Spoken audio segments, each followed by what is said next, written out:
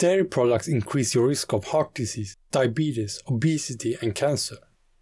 But you can lose weight and lower your risk of cancer and other severe illnesses if you avoid dairy. In this video, you first learn how milk is made. Then you're going to discover why dairy is bad for your health. And in the last part of this video, you'll learn about the environmental impact of dairy products. So let's learn how milk is made. Milk is food for calves, not humans. Cows, like any creature, can only produce milk while they are pregnant. So to provide enough milk for us, cows are always kept pregnant. To impregnate a cow, the dairy farmer jams his or her arm far into the cow's rectum to locate and position the uterus. They then take sperm from a bull and forces an instrument into her vagina. The farmer separates the child from its mother within 24 hours after its birth. Calves spend their first 2 to 3 months of life confined in lonely hutches. Their diet consists of a milk replacer while humans drink the milk intended for them. Male calves end up in cramped veal crates or barren feedlots. The farmers fatten them for beef, and the females follow the same sad fate as their mothers. Dairy farms are cruel places where they mistreat animals. The separation between the mother and child is traumatic. After the separation, the cows go to milking machines. They then have to milk two or more times a day. Each cow has to produce milk for several years. So after about 4 to 5 years, their bodies wear out from lactating all the time. The average cow today produces more than 4 times as much milk as cows did in 1950. Farmers use milking regimens and drugs to force the cows to produce more milk. So the milk production is an unnatural process that is cruel to animals. A cow under normal conditions can live for 20 to 25 years, but they get killed after 4 to 5 years when they can't perform anymore. So milk can also negatively affect our health. About 75% of the world's population is unable to digest milk. Cow's milk contains a sugar called lactose that can be difficult for people to digest. Dairy protein is the number one cause of food allergies. It can cause nausea, cramps, gas, bloating, diarrhea or autoimmune diseases. Milk is food for calves, not humans. Humans are the only animal that drinks another species' milk. The nutritional content of cow's milk is notably different from human milk. Cow's milk contains almost 3 times more protein and 4 times more calcium than human milk. Milk from cows is the perfect food for calves that grow four times faster than humans do. Cow's milk is the food that the calves need at the beginning of their life when they need to grow the most. So it's an ideal food to grow a calf from its 60 pound birth weight to a 600 pound young cow. So non-organic cow's milk contains excess hormones, antibiotics, steroids and pesticides. Even organic milk won't protect you from harm. Cow's milk contains over 60 different hormones, even if you don't add anything to it. If you watched my previous video, you know that meat contributes to cancer. Milk is like liquid meat. One of the components they both contain is IGF-1. IGF-1 stands for insulin growth factor 1. It's a growth hormone that turns cancer more aggressive. Estrogen is common in cow's milk and increases your risk of cancer. To increase the production of milk, some farmers give cows Posilac or a bovine growth hormone. Dairy products are also known to contain several nasty pathogens. To combat the germs, many dairy farmers give antibiotics to cows and these end up in the milk supply. Dairy products are one of the leading contributors to excess body fat.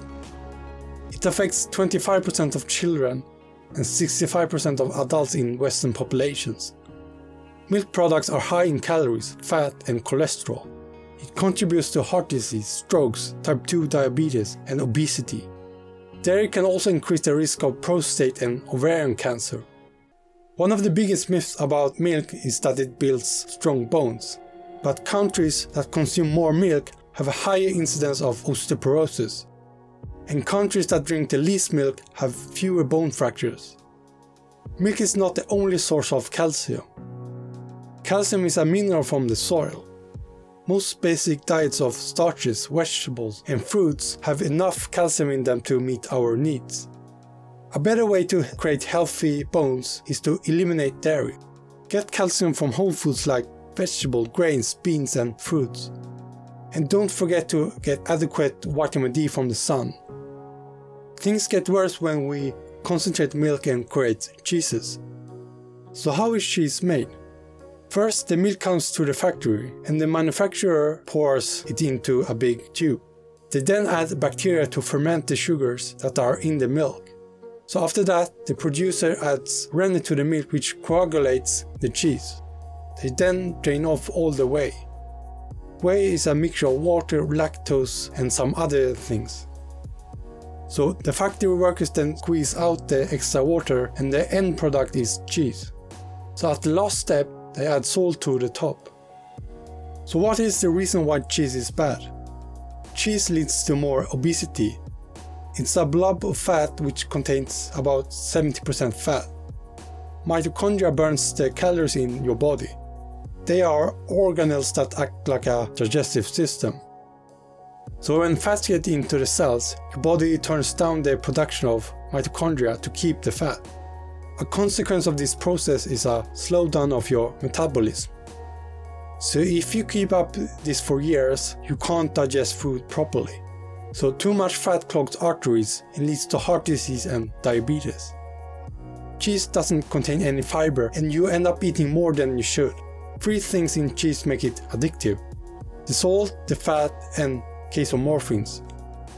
The purpose of salt in the cheese is to stop bacteria growth from fermenting into mush. Excess salt leads to excessive water weight. Casomorphins in the cheese are opiates. Opiates are the same chemical class as narcotic painkillers like heroin or morphine. The purpose of casomorphin is to make the calves crave milk. Cheese is unhealthy and something you need to avoid. Dairy products also have a severe impact on our environment. We have all heard that CO2 in cars contribute to greenhouse gas. Animal livestock is the largest source of greenhouse gas, not cars cattle and their byproducts account for at least 42,000 million tons of CO2 per year. Animal agriculture is responsible for 18% of our emissions.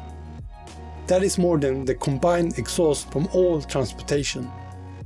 Livestock accounts for at least 65% of all human-related emissions of nitrous oxide. Agriculture uses 80 to 90% of US water consumption you need 2500 gallons of water to produce 1 pound of beef. 1 gallon of milk requires 1000 gallons of water to produce. Livestock occupies one third of the Earth's ice-free land. Every minute the animals raised for food in the US excrete 7 million pounds of manure. Animal agriculture is responsible for up to 91% of Amazon destruction.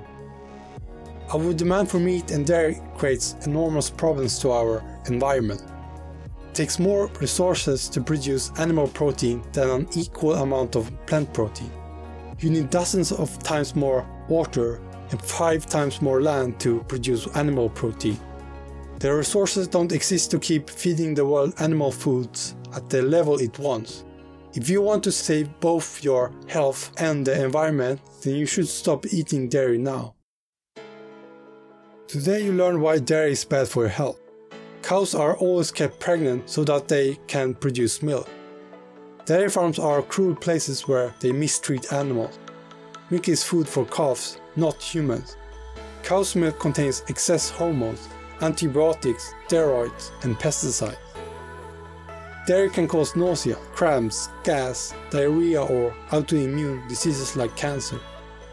So after watching this video, it should be clear now that you can lose weight and decrease your risk of cancer and other serious illnesses if you avoid dairy.